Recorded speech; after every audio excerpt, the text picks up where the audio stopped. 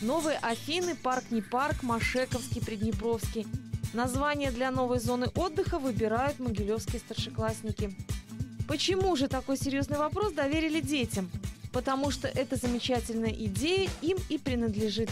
Ребята победили на конкурсе социальных проектов, а город их поддержал. У нас прошел городской конкурс э, идей э, по э, тому, какие, какой может быть наш парк, который будет разбит в Поднеколье. Конечно, это очень уникальная, интересная идея. Там они хотят, чтобы разбили и, и дорожки, и пешеходные зоны, велосипедные дорожки, интересные такие места для отдыха всей семьей. То есть для того, чтобы люди не просто ходили, но они любовались Старшеклассники практически из всех городских школ дружно взялись за дело. И закипела работа. Пока разрабатываются идеи, и их немало построить белорусскую беседку, где люди могут встречаться, говорить на белорусском языке, обсуждать какие-то, может быть, книги, фольклор, костюмы, приготовление всяких белорусских кулинарных изделий, игры какие-то. То есть все именно склонно на белорусский, потому что у нас, ну, надо это все развивать. Мы должны как-то поддерживать наших предков, они все это ценили, они поклонялись ну, даже как-то своим богам. Ну, у нас, конечно, другая вера, но я думаю, что их праздникам, их э, традициям мы все-таки должны как-то следовать, мы белорусы. Идеи действительно не банальные. И напрасно взрослые говорят, что детям интересны только компьютерные игры и аниме. Мир сейчас развивается, мы хотели бы отразить э, в нашем парке э, другие культуры, страны и их традиции. И, э, к примеру, можно взять даже культуру и обычаи, там, и стиль тот же, который был в СССР, чтобы те дети, которые сейчас растут, они что-то знали, помнили, видели. А также у нас, э, ну, как бы в городе отсутствует, но очень бы хотелось бы увидеть планетарий, который бы, был бы лично наш, и где все могли бы изучать астрономию помимо школы. Будущий парк – это несколько зон отдыха для людей разных поколений. Главное, чтобы каждому там нашлось место, было интересно и уютно. Четыре сектора. Сектор для отдыха с детьми, сектор для, для спортивного отдыха, сектор – для подрастающего, для старшего поколения и подрастающего вместе. И сектор, направленный на интересы молодежи. А интересы молодежи это что? Я уже догадываюсь, но вы нам скажете. Ну, там должно быть летнее кафе. Мы думали о создании навесного театра, кинотеатра, чтобы можно было сидеть в этом летнем кафе за столиками и смотреть вместе какой-нибудь фильм. Также было бы неплохо, чтобы в аллее были повсеместно размещены колонки и была возможность заказа музыки. Современной, конечно же, чтобы люди могли слушать музыку и просто наслаждаться прогулкой. Но мы-то взрослые понимаем, чтобы реализовать эту грандиозную идею, одного желания недостаточно. Реализацию этого проекта мы бы хотели организовать все общими усилиями. А, мы бы хотели подключить а, к нашей работе а, власти города Могилева и, конечно же, работа профессионалов нам нужнее всего. Ребята сами создают эскизы и частенько наведываются в Поднеколье. Вначале небольшая уборка, а после обход будущих владений. Чертеж парка дорабатывается прямо здесь, на природе. К слову, там, где мусорят взрослые, убирают дети.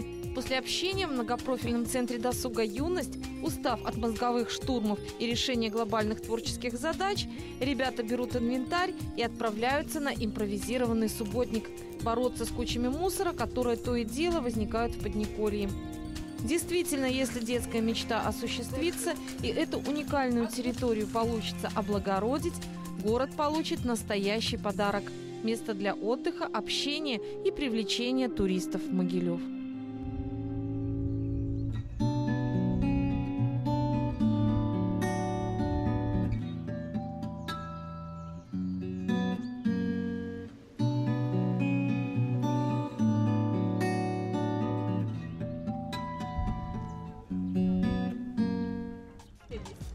Между тем, это далеко не единственная детская инициатива. Почему же нынешний год такой урожайный? Дело в том, что в Могилеве скоро появится детский парламент. В ноябре Могилев присоединился к международной инициативе ЮНИСЕФ «Город дружественный детям». Детская глобальная инициатива «Город дружественный детям» предполагает создание максимально благоприятных условий для проживания детей в нашем городе. Но, естественно, дети сами знают, что им необходимо для того, чтобы им комфортно и благоприятно жилось в нашем любимом дорогом городе Могилеве. И поэтому, конечно же, они у нас разрабатывают социальные проекты всевозможные, которые затем помогут нам реализация которых поможет э, действительно создать максимально благоприятные условия для развития, для творчества детей, для того, чтобы они могли отдыхать э, с большой пользой, а также не только для детей, но и для их родителей, то есть для семейного отдыха.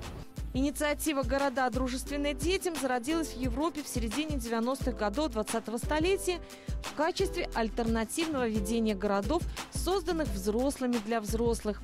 В настоящее время эту инициативу подхватили почти 900 городов мира, в том числе Лондон, Мюнхен, Москва, Санкт-Петербург, Вильнюс. Беларусь включилась в реализацию инициативы в 2006-2007 годах. Сейчас 22 белорусских города признаны дружественными детям. Выборы в детский парламент пройдут в сентябре. Планируется, что от каждой школы города будет представлено 4 кандидата учащиеся 8-11 классов. А пока ребята разрабатывают все новые и новые идеи. Хотелось бы, конечно, допустим, для наших художников реализовать такой проект, как э, специальные стены для граффити. Тема работы, ну, Могилев – культурная столица, то есть какие-то, допустим, памятники архитектуры, то есть тоже звездочет может быть, там, например, э, даже, ну, если бы я был с группой художников, то, наверное, нарисовал бы э, наш новый проект, это монастырь какой-нибудь там, вот.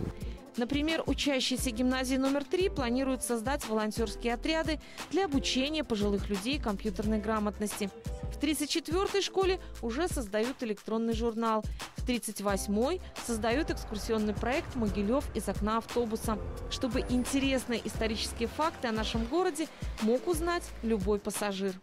Кроме того, создаются волонтерские отряды, которые в летний период будут по улице Ленинской а, проводить экскурсии для всех Э, всех желающих, которые приезжают в город Могилев и даже для самих жителей города Могилева.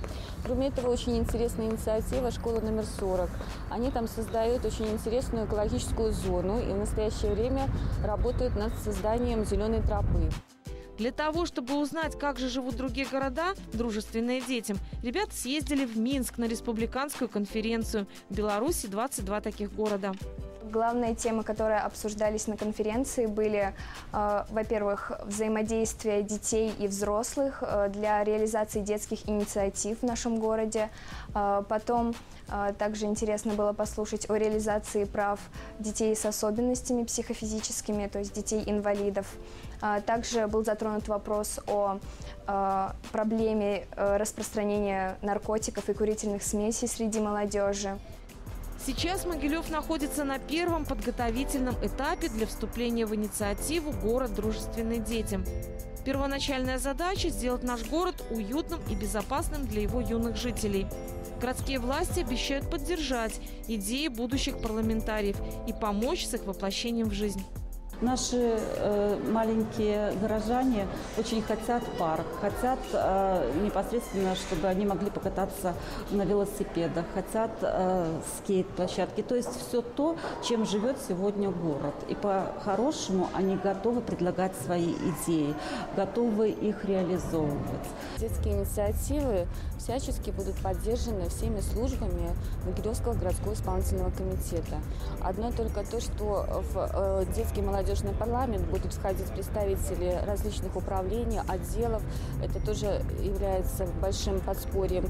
Это будут и советы, это насколько это возможно, будут выделяться какие-то финансовые средства. Для того, чтобы увидеть Могилев будущего собственными глазами, достаточно спросить, каким его хотят видеть наши дети. Современным, уютным, безопасным. И ребята уверены, им сегодня все по плечу. А мы, взрослые, можем быть спокойны. Будущее Могилева в надежных руках.